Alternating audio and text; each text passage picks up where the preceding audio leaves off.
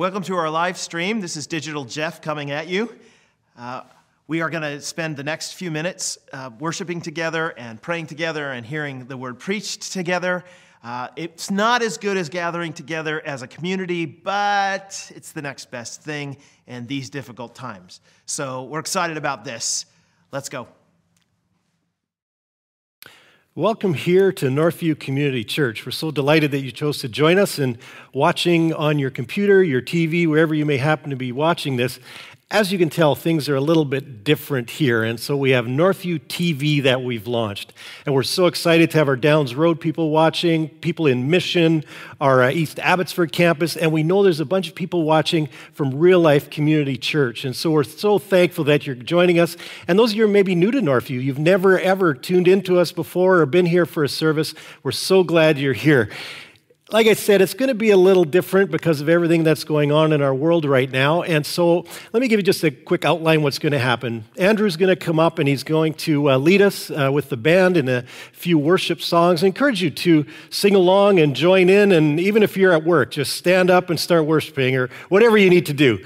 Pray you just have a great time with that. Then we have a few of our pastors are going to be giving um, some messages. And so it's going to be an awesome time together. And I know you're going to want to take some pictures of where you're watching this. In fact, we'd love if you would do that. And if you would mark that with a hashtag Northview TV and then tag Northview Downes Road so we can all see those pictures together. We think this will be a kind of fun thing to be able to do. But before we start off with the rest of the service here, we want to include the children. So we've asked Pastor Dwight to put together a lesson at the very beginning here, just a short lesson for our children. So here it is. Hey, boys and girls, Pastor Dwight here. For the next little bit, this is how we're going to be doing church. This is how you're going to get your Bible lesson, which means you get to stay at home in your pajamas, eating your cereal while still learning about Jesus. Last week, we talked about how Jesus gave Peter a very important job to do, which, and Jesus says to him, If you love me, you're going to feed my sheep. Remember, three times Jesus says to Peter, If you love me, feed my sheep. If you love me, feed my sheep. If you love me, feed my sheep. And for us, how we show that we love Jesus well, it's by loving the people in our lives that is sometimes hard to love. Maybe there's a boy or girl in your class that keeps taking your stuff you love them. Maybe there's a boy and a girl on your hockey team or your soccer team or your dance class that keeps bullying you. We love them. And when we, when we love those difficult people, we show Jesus that we love him. I also told you guys that Jesus is that one thing that we don't get to hang on for ourselves. Jesus is that one thing that we have to share with other people because just like we know and love Jesus, other people need to know and love Jesus as well. In today's video, we're going to learn a little more about how we do that and what it looks like to share Jesus with others. So take a look at this video, and I'll be right back.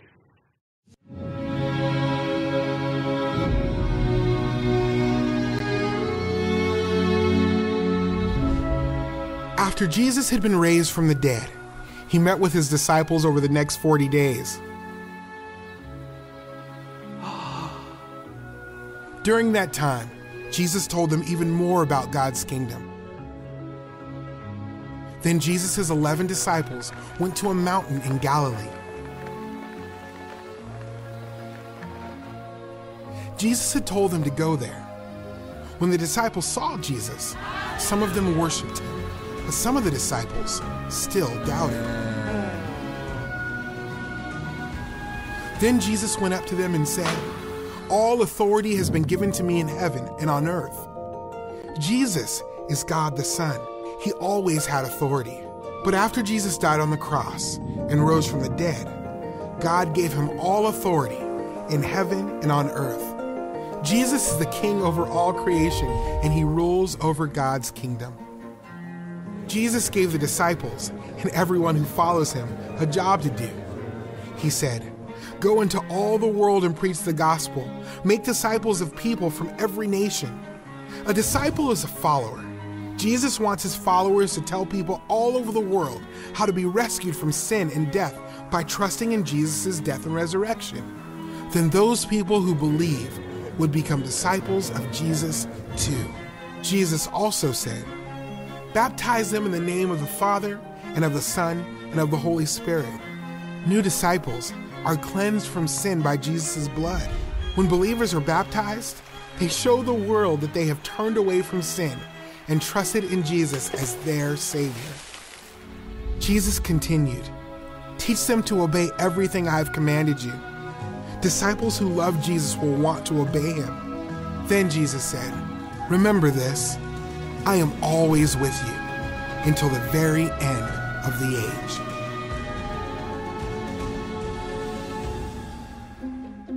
The good news about what Jesus has done to rescue us from our sins is too great to keep to ourselves. Before Jesus went back to heaven, he gave the disciples a job to do. Jesus wants his followers to teach people everywhere about Jesus so they will trust in him as their Lord and Savior. So, boys and girls, like you just saw the video about how Jesus commands us to share his good news with everybody everywhere. Now you're thinking, but Pastor Dwight, I am just in the third grade. How am I supposed to share Jesus with everybody everywhere? Well, it starts with just one person. So let's say this is you. And you decide to share Jesus with that boy, that girl in your class that's bullying you. And guess what? They decide to follow Jesus. And what do they do? Well, they tell somebody else about Jesus. And that person also decides to follow Jesus, and they tell somebody who also decides to love Jesus, and they keep telling others about Jesus. They keep sharing the good news of Jesus with others, and it keeps going and going. And Jesus' good news now is gone viral, is gone everywhere. Why? Because you took the time to share Jesus with one person. And that's what it looks like to take Jesus' good news and spread it across the world. It just starts with one person. Pick that person in your class or in your school. Love you guys. Pastor Dwight out.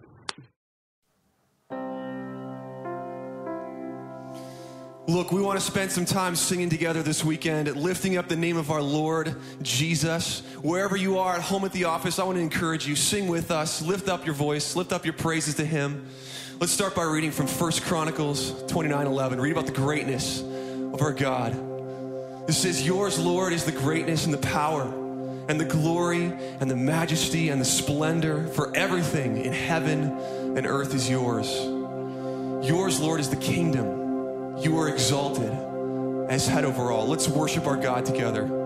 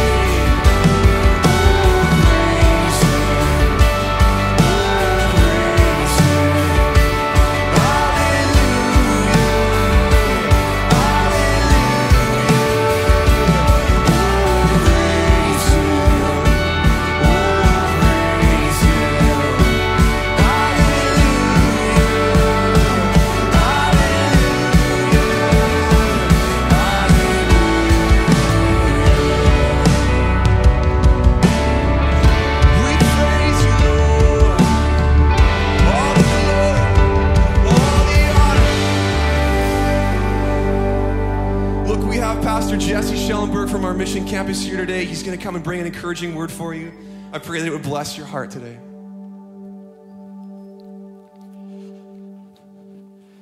To those of you listening online and to the few brave souls that are out here, uh, this is weird, but we're going to roll with it and see how it goes. Uh, let's jump into scripture together. We live in a world filled with people who have troubled hearts. People whose hearts are, are filled with fear, and for good reason. We have uh, markets, stock markets that, that are crashing. We have, we have savings accounts that are being depleted. We have borders that are being closed. We have airports that, that, aren't, that aren't functioning anymore. We have schools being shut down. We have a virus that's spreading all over this planet. There's good reasons for people to have troubled hearts and to be afraid right now. Jesus looked into the eyes of his disciples on the night before he would be arrested and tried and, and eventually killed. And he noticed that they had troubled hearts. Here's what he said to them Peace I leave with you, my peace I give you. I do not give to you as the world gives. Do not let your hearts be troubled, and do not be afraid. Two things about Jesus' peace that we learn from this. Number one, it's not like the world's. Jesus' peace is different. See, the, the peace that, that the world gives is a peace that is uh, contingent on us being in control of the circumstances. Right? So think of things like, like insurance, uh, things like uh, having a, a, stable government, uh, and other things, so that when, when the world goes crazy or things uh, start to, to fall apart, we feel like we're in control because we have these things like, like insurance or healthcare, and we should be grateful for these things. These are good things. It's why world leaders right now are standing up and, and looking in the eyes of, of their citizens and, and of the public, and they're saying, It's okay. Relax. Don't freak out. We got this. We're all under control. And yet, it certainly doesn't seem like that, does it? See, Jesus says that the peace that I'm offering you, disciples, is not like that. It's not a peace that, that gives you control of the circumstances. So, what type of peace does Jesus give? The peace that Jesus gives is a peace that only comes when we realize we're not in control. That, that sounds crazy. Even just saying it, I, I feel like that sounds ridiculous. And it does. And the Bible says that it, that it will sound ridiculous to e- our ears. So let me, let me illustrate it a little bit. It was one time uh, I was helping my dad do some uh, a construction job, and we were at the end of it. We had been kind of renovating this, this kitchen, and the, the new cabinets were in, the new flooring was in. It was all done except the kitchen sink. I just had to put in the kitchen sink. My dad had to officiate a, a funeral, so, so there I am on my own, and I was ready to go because I'd watched a couple YouTube videos. Uh, I was going to install this kitchen sink all on my own. I'm there, I had everything laid out, I'm ready to rock all right, let, us turn off the water. So I go under the sink and I turn the water, and psh, water just starts spraying everywhere. So I'm freaking out, trying to block it. It's like, hey, I gotta find the main water shut off. So I run into the hot water room and uh, where the hot water tank is, and I'm looking, and I can't find it anywhere. So I run back, and water's everywhere. It's starting to like billow out of the cabinets now, and I'm, I'm starting to freak out. And it was, it was in one of those uh, like multiplexes, and, and this was the top one. And so I go down to like the neighbor below, and I'm like, hey, knocking on the door, where is like, wh- where is this shut off? And, and I can't find it. And, and, and it was like a retirement complex, and so it was a very slow pace of this gentleman. And, and he's, he's, I don't know, maybe it's over here. And he didn't help. He's like, well, call Henry across the way. He's kind of our facilities guy. And so I run over to Henry's house, and, and Henry slowly gets there. And uh, Henry's like, well, let me call Bill. Hey, Bill, how you doing? I'm like, people, like there's a flood happening. Let's go here.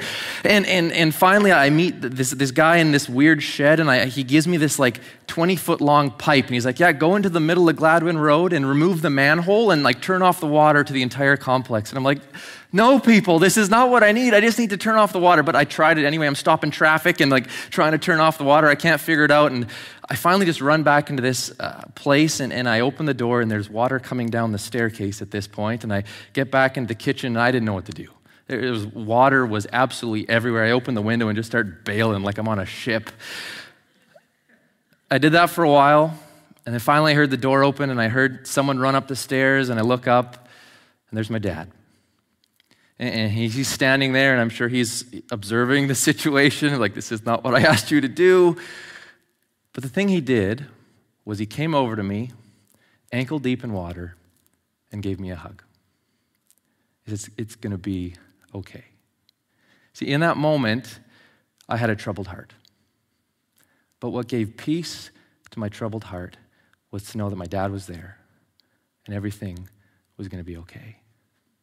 See, the, the peace that Jesus gives us is not a peace that the world gives. He, he doesn't give us control of our circumstances, but He gives us access to the one who is in control of every circumstance. And the good news is that this God, if we are in Christ, He loves us. See, no, no, matter what's going on, no matter how ankle deep or knee deep or neck deep we are in the water of what this world is throwing at us, God is in control and, and He loves us.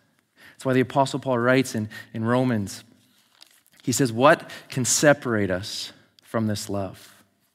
Can, can famine or, or hardship or life or death or angels or demons or the present or the future or any powers, neither height nor depth nor anything else in all creation will be able to separate us from the love of God that is in Christ Jesus our Lord?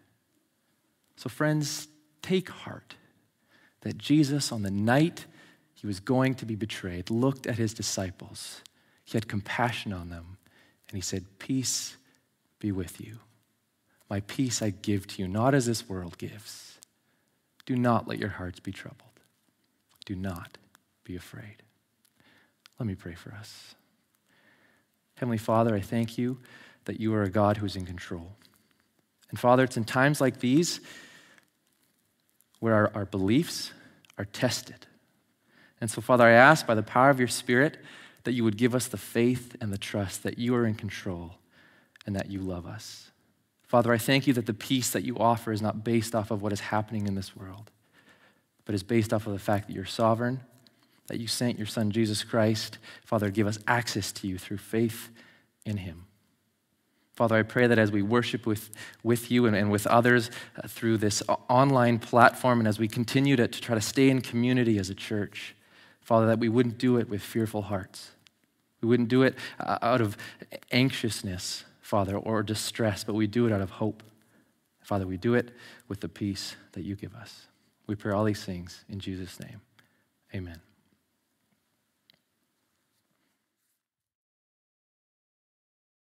Well, I hope you're enjoying this so far. And you know, while I have your attention, just a quick thing I want to let you know of here. If you look underneath your screen and the bottom right, there's a button there that you can press to get the Northview newsletter. This is our way for you to be able to find out everything that's happening at Northview during the week. And so if you sign up for that, you'll get an email once a week and it has everything going on. And also, if you look to the left, there's a button there called Give. You can click on that button to give to Northview at any time, and it's all done through your computer. But you can also text to give. And you can text the number that's on the screen right now, and it's very simple, easy way to be able to do that.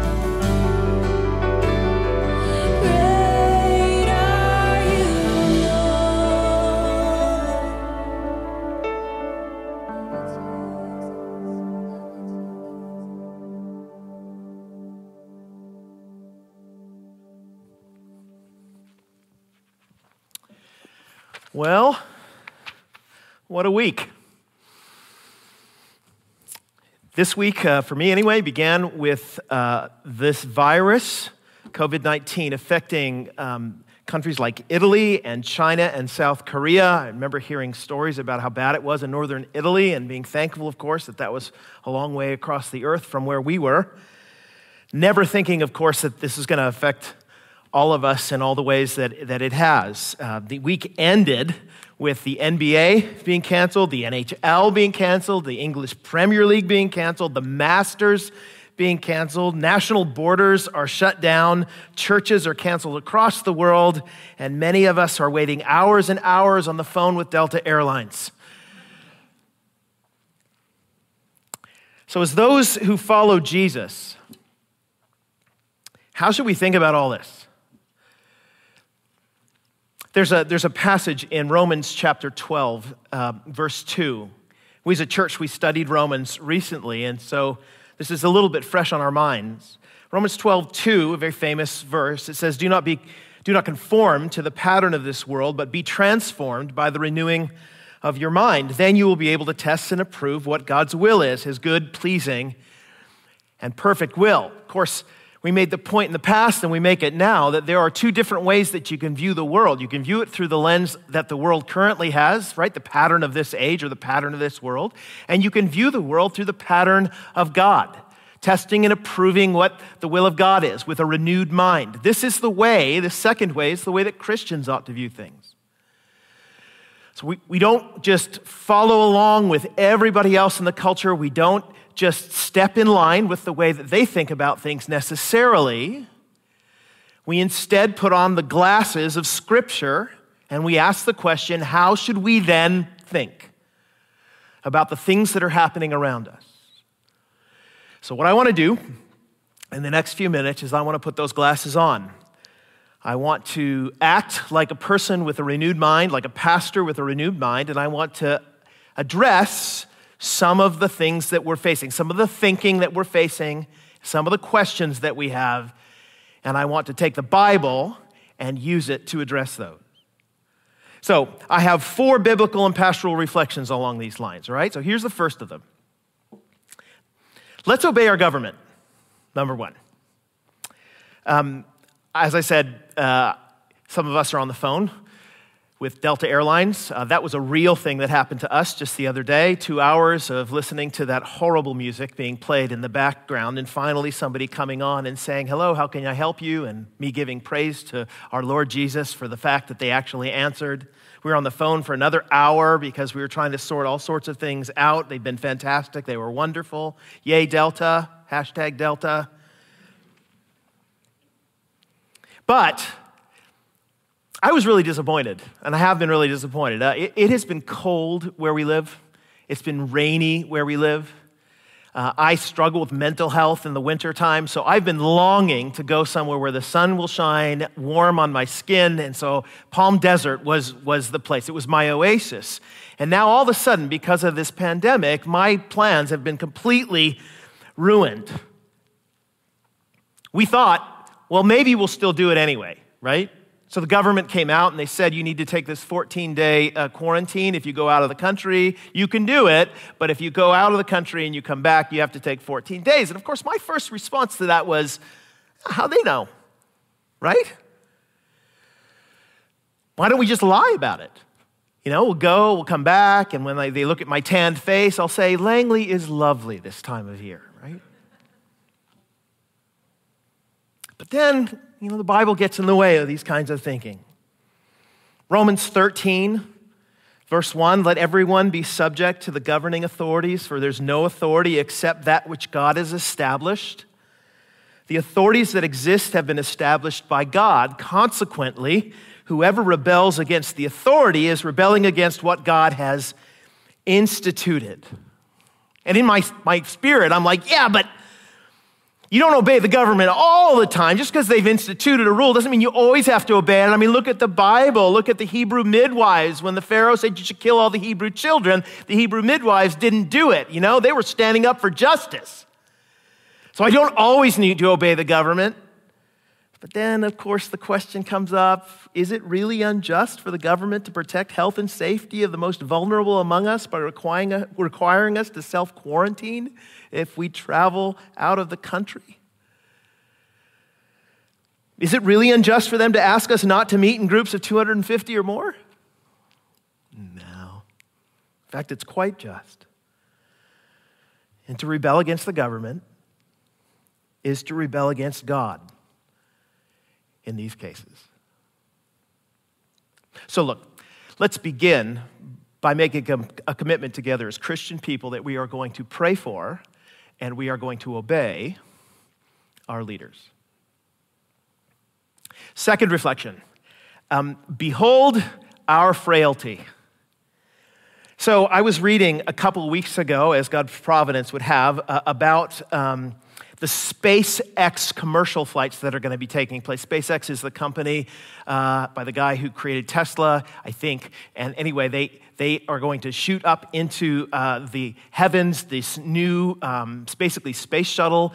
They've, they've configured it so that it can actually take commercial passengers up there. And so, in this article in, in the website Engadget, Mariella Moon, she wrote, While we haven't seen the Starship, that's the name of the spaceship they're going to use for commercial flights, while we haven't seen the Starship fly yet, SpaceX just got done with its test firings and short hops last April we might not have to wait long for its first commercial flight. According to SpaceX Vice President Jonathan Hofeller, the company is hoping to send, its, it send this spaceship to space for its first commercial mission in 2021.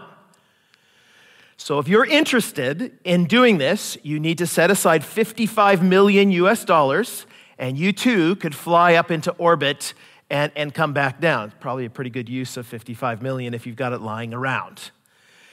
But when I read this, I thought to myself, aren't human beings amazing? Like, we, we can make rockets that carry people like me into space now.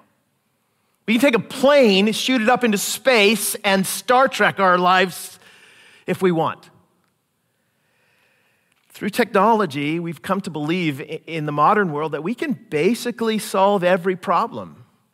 Is there an issue that is raised in our society that we can't address by applying good scientific reasoning to it? We are undaunted by the things that stand in our way. We as human beings believe that we can overcome any obstacle through the application of the right technology. Until along comes this little tiny virus with little spikes on it. Gets passed from animal to human in China, and then it spreads, and eventually it's in Italy and here, and we're all locked down in our houses, and the stock market crashes. Behold the truth. We are a frail people. This shouldn't come as a shock to you if you're a Christian. Psalm 103, verse 15 The life of mortals is like grass, they flourish like a flower of the field. The wind blows over it, and it's gone, and its place remembers it no more. That image of humans being like grass that a hot wind comes on and just dries out just reminds me of every July where we live and how quickly my lawn turns, turns brown. I mean, we live in the wettest place in the world. And yet it takes like a week of hotness to turn my grass brown. I can barely remember when it was green. And that's really what the psalmist is saying here. We are like that mist that appears for a little while and then it, then it vanishes. All it takes is a good hot wind and we wither. And that's the true nature of human beings. We, we have been made by God as the crowning glory of his creation. We are made in his image. No other creature on the world is like that, but we are also completely dependent on his grace to protect us from harm. We are so very frail. So, what should be happening in our minds is not what my friend told me the other day he's very frustrated with the fact that God has permitted the coronavirus to happen because it's interrupted all of our plans and done all these things and, of course, killed lots of people. He's like, What is God doing? And in response, I said to him, Instead of thinking it that way, perhaps you should start thinking, why is it that God has always protected us from stuff like this? Isn't it amazing that through all these ages, God, in His common grace, has provided for Christians and unbelievers alike through the application of His science in the world that He made? That we have antibiotics and we have all sorts of other things that prohibit these things from ultimately coming at us. That is a grace of God. That is a grace of God because we are very frail. Third one, third musing or reflection. Um, I've already kind of mentioned it. Uh, providence, God's providence, often interrupts our plans. I don't need to tell you that. Your plans have been totally interrupted. My, my friend, I remember back when I was in college and I had a friend named Joe and uh, he was played for the football team in my university. And uh, I remember he broke his, his leg in four places or something, trying to make a block downfield. He went into the hospital, and the doctors told him, as they've told lots of other sportsmen and sportswomen over the ages, uh, this injury that you've sustained will mean that you can no longer play your sport. Joe, of course, was ruined. He, he had visions of playing in the NFL. He had desire, all, you know, like to do, to be the, one of the greatest. He, I remember Tim talking to me about the Hall of Fame at one point, which was not going to happen. But he, you know, you can have dreams. And now here he is sitting in a hospital bed or laying in a hospital bed, and he's got his leg in traction, and he's left there in the quiet to think about all the dashed dreams and hopes that he had. And of course, his question is the same question that you and I ask whenever something like this happens, whenever God's providence gives us a left turn when we wanted to go right, the question we ask is why would God do this? Why does He disrupt our plans? I've, I've actually come to realize that this is the most pressing issue for, for us. That if you can talk to people long enough and get, get behind the, the face that they put on or the, mask that they wear, what you'll end up realizing is that they have questions on why it is their life has not turned out the way that they had planned it. We get very frustrated when God doesn't enable our plans. But it's not something that the Bible doesn't talk about, this left turn where you wanted to go right. In fact, James chapter 4, listen to these verses. James 4 13, just listen. It's like, it's like James has looked into the future and in 2020, in the month of March, sat down and watched the COVID 19 epidemic or pandemic take place. He says, Now listen, you who say, Today or tomorrow we'll go to this or that city, spend a year there, carry on business, and make money. Why, you don't even know what will happen tomorrow. What is your life? You are a mist that appears for a little while and then vanishes. Instead, you ought to say, if it's the Lord's will, we will live and do this or that. As it is, you boast in your arrogant schemes. All such boasting is evil. Oh, we have been, we boast. this is going to happen. I'm going to go play here. I'm going to go and, and, and build this. I'm going to go and make money. I'm going to go and yada, yada, yada, yada, yada. And ultimately, this whole thing is shown once again that the Lord has the right to do things his way. And we get angry with him. There are actually three responses, I think, to when this, this happens. One of the responses that we can have is to walk away. God, if you're going to do that to me, I am done with you. Okay, you and I, we're not getting along anymore. In fact, I'm going to say that you don't even exist. That's how angry I am at you. So I go do my own thing.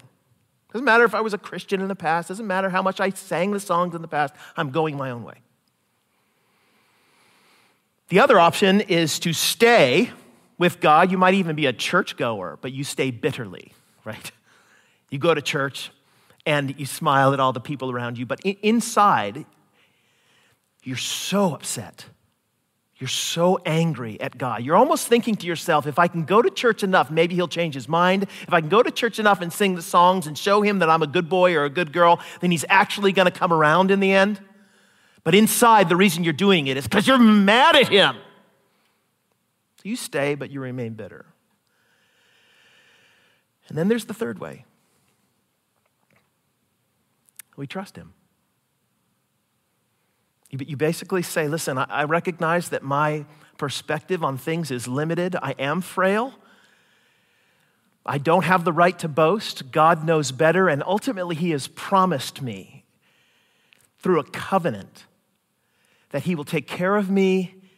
He will bring me to the destination He desires for me, and that destination will be, better than I had ever imagined for myself. So, Lord, let it be to me as you have said. I guarantee you that that's the approach that Jesus urges you to take. The whole Bible is screaming at us to open our hands and to be willing to follow wherever He leads. Here's my last one. Ultimately, what should we think about all this? Um, we should remember that we're a people of hope. In fact, that's the thing I think that defines Christians. Lots of things define Christians, but more than anything else, we are people of ridiculous, energetic, profound hope. You remember the scene, if you've read your Bibles before, maybe through the book of Acts, you see in Acts 16, uh, Paul and Silas, these missionaries, are in the city of Philippi, and there's this demon possessed girl that's following them around, saying, yelling out a whole bunch of things. And Paul finally gets tired of it. He turns around and he tells her, you know, demon come out of her. And of course, she's healed. The problem is, of course, that this, this girl had what they called the spirit of Python. She could tell the future. And there were lots and lots of pimps, basically, who were using her to try to get some money, right? Somebody would come in and they'd pay the money like she was going to do her tarot cards, and some of what she said about the future came true. And so they could make a lot of money off of her, but now they can't because the demon's gone. So they raise a fuss in the city, and they say, These men who've been saying these horrible things about, uh, you know, against our gods, proclaiming there's only one God we should oppose them. And they rile up the city and they get the local magistrates to grab Paul and Silas. They beat them and then they put them in prison. In fact, they put them in the inner prison in stocks. Stocks are, of course, these wood, uh, basically tire irons. But they don't move around like a tire iron does. You, you just sit on your rear end and your feet go through the stocks and you're locked in there. Roman prisons were not known for their cleanliness, nor were they known for their comfort. So there they are, basically in a hole in the ground with their feet stuck in a couple pieces of wood, Paul and Silas. And in Acts 16, verse 25, you read the most remarkable verse, perhaps, in much of the New Testament. About midnight, Paul and Silas were praying and singing hymns to God and the other prisoners were listening to them. What? Uh, they're praying and, and singing hymns to God while they're in a Roman prison. They've just been beaten, and there, there they are in the middle of this Roman prison, singing praises to the Lord. I complain about hangnails. But they sing praises. Why? Why do you think they sing praises? Like if you go across the way Paul talks about his life and many of his other letters, the reason becomes very apparent. The reason that Paul can praise in the midst of the greatest heartache he's got is because he believes that God is achieving his purposes regardless of the present circumstances. That God, even through those circumstances, is going to bring about his desired end. And because Paul is confident in that end, he can rejoice when it doesn't look like the end is coming. My wife and I were watching the movie A Quiet Place the other, the other week. Uh, Quiet Place is about uh, uh, a world where an alien creature comes down and it hears sounds. So everyone has to be completely quiet, and if you make any noise at all, they'll come and eat you. Uh, great premise for a movie. I love monster movies. And so this was, we were sitting down. My wife kept sitting next to me, and, and I'd seen it before on an airplane, and so I knew, I knew it was going to come in the ending, and she kept asking me questions about it all the time. Is this going to die? Is he going to win? Is he going to lose? Is He's going to whatever, and she's like freaked on the edge of her seat. I don't want to watch it to the end if this is going to be have everyone die. And I realized halfway through that here, here she is, she's feeling all the feels in the present moment, but because I'd seen the film before and I'd seen the beginning to the end, I'm sitting there giggling when the monster comes and eats the little boy, right? It's not, it's not a positive thing necessarily, but I'm, I'm, I'm realizing that my perspective on this is so different than hers. Why? Well, because I'm confident of the end. Are you confident of the end? You, you do know that the hero wins in the end, right? He returns and he makes everything right. His kingdom comes in the end. The rescue will succeed. So, how should that affect you? Well, maybe it should make us sing. Maybe it should make us hope. Yes, now is a time for hope, not fear, but hope. God is working out his purposes perfectly. He's not surprised by this. And ultimately, he will be glorified in it, and we will see our good in it. So I'll leave with this. 1 Peter chapter 5, verse 6. Peter writes, Humble yourselves, therefore, under God's mighty hand, that he may lift you up in due time. Cast all your anxiety on him because he cares for you. Be alert and sober, of sober mind. Your enemy, the devil, prowls around like a roaring lion looking for someone to devour. He wants you to freak out, you know. Resist him, standing firm in the faith, because you know that the family of believers throughout the world is undergoing the same kind of sufferings. And the God of all grace, who called you to his eternal glory in Christ, after you and I have suffered a little while, will himself restore you and make you strong firm and steadfast. So to him be the power forever and ever. Amen.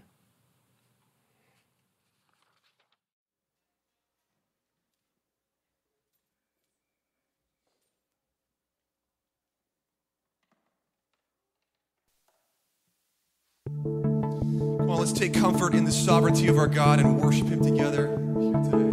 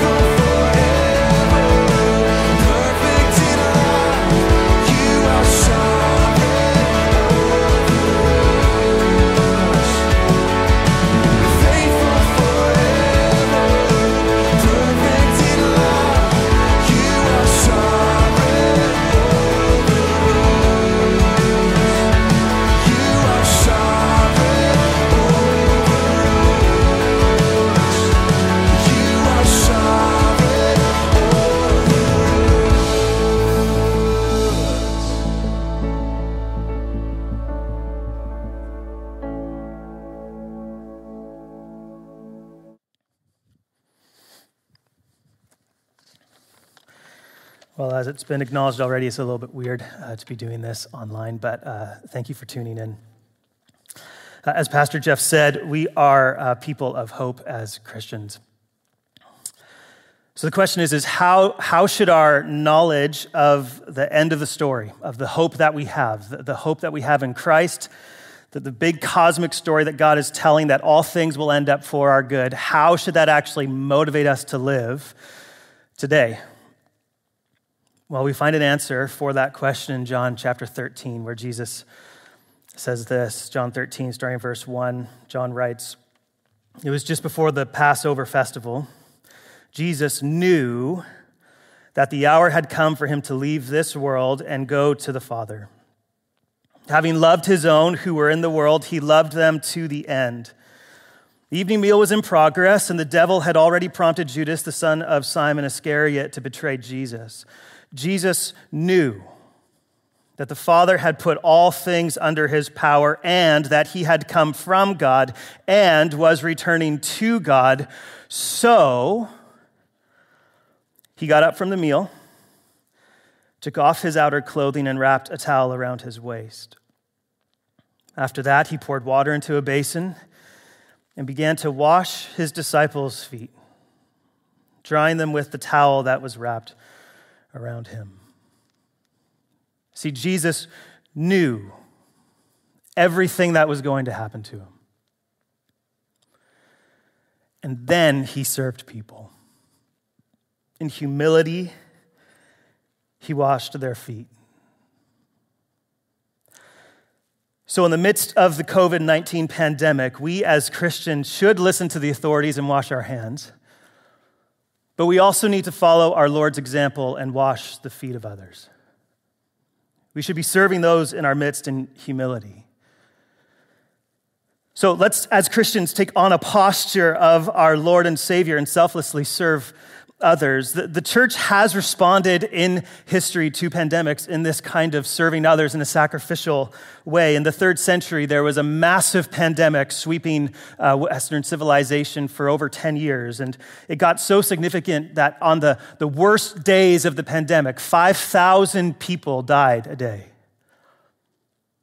And in the midst of that pandemic in the third century, the early church put aside their preferences didn't stockpile supplies for them and their own. Instead, they went out and served those who were dying. They followed the example of their Lord. They didn't just believe the gospel, they lived in light of the gospel in the midst of a pandemic. And what's crazy is that in that setting, God used that kind of countercultural, humble, foot washing, serving of others to spark a revival of salvation in Western civilization. So many thousands of people came to know Jesus Christ as Lord and Savior because his followers followed his example to wash the feet of those around them. So much so that actually the mass conversion sparked Emperor Julian about 100 years after the pandemic, and he was blaming the growth of Christianity on this. He said that it was the benevolence to strangers that led to the mass conversion. The emperor also said that it's a disgrace that the impious Galileans, the Christians, support not only their own poor, but ours as well. You see, God used the countercultural impulse to actually wash the feet of people who need our intervention and help in the midst of a pandemic to save thousands. And in the midst of this pandemic, the reality is, is that the church is already responding to those being affected by COVID 19. I know this personally. This past week on Tuesday, uh, my wife got a phone call from someone we know who was quite ill. Uh, my wife is a very kind person. I told her she should call the ambulance and let the ambulance take care of it. Uh, my wife said, No, I need to be there to help this person in need. So she showed up. She left our home. She drove to a different city in the Fraser Valley. She went to that place. She wasn't able to help this person. They were in such a dire need that they ended up calling the ambulance. When the ambulance took this person that we know into the hospital, it was At that point, because of a variety of other things in, in the past few weeks and the testing that this person already had, that their health was confirmed to actually be positive for the COVID 19. And Sarah, my wife, was exposed to it, which meant that instead of coming home that night, she went into quarantine. And she's still there. So we have had Christians in the midst of the pandemic putting aside their preferences and serving us. See, when you know the person around you that is facing the trial, you want to help. There might even be an impulse in you right now to say, I should send Greg an email and see if he needs help. We're, we're well taken care of. But there are people in your midst who don't have the same kind of access to a community that I have. That same empathy that you felt in you that was driving you to want to text or email me should actually be mobilized to wash the feet of the people in your midst. See, Christians respond this way in the midst of pandemics. We put aside our preferences and we serve the other. And maybe, just maybe, God will use this season to do it again. How in the third century Christians gave up of their preferences. They didn't stockpile for them and their own. Instead, they self, selflessly served those around them. And because of their instinct and proactive washing the feet of others, thousands might actually come to saving faith again. You know, we live in a culture where uh, our, our big gods, the big things that give us hope and joy, are money and health and autonomy and comfortability, and COVID 19 is stripping every single one of those things away. People are desperate for a God who can deliver. We serve a God who can deliver. Our world is sick and broken, and in this season, we as the church should rise up to humbly serve others. We need to bring people to Jesus, the great physician, and we need to tell them the news that will bring their eternal healing. See, in our, our culture, our neighbors might be contemplating the fragility of life for the first time in a very long time the apathy that they have towards spiritual things and towards God might actually be chipping away in their own heart. Maybe, just maybe, they're ready to hear about some hope and some good news in Jesus. And maybe we can tell them that news as we're by their feet washing them in this time of need. I'm praying that God would remove from all of us our shyness of speaking about the goodness of Jesus and the hope of the gospel in this season. I'm praying that we would be people who live in light of our hope, that we would be people who follow the example of our Lord, that we would wash the feet of those around us. Because we're people of hope because we know the big cosmic story that God is telling, and we know that Jesus is victorious in the end. And even though we are not promised to go untouched by this pandemic, we know the end of the story. And we know, along with the hymnist, that this is my Father's world. Oh, let me ne'er forget that though the wrong seems off so strong, God is the ruler yet. Let me pray for us. Father, I pray that you would reach down into this pandemic and you would bring healing. Lord, would you be present? with each and every person who is fighting this horrific illness. Would you give doctors wisdom? Would you open up respirators for those who need it? Would you help those in quarantine fight the loneliness? Would you help those of us who are still healthy to not be worried about our own health, but that we would be focused on how we could serve others and make you look big in this season? Father, we ask for you to move and have a revival come across this country of people coming to saving faith in Jesus. Lord, do this for your fame. We pray this in Jesus' name. Amen.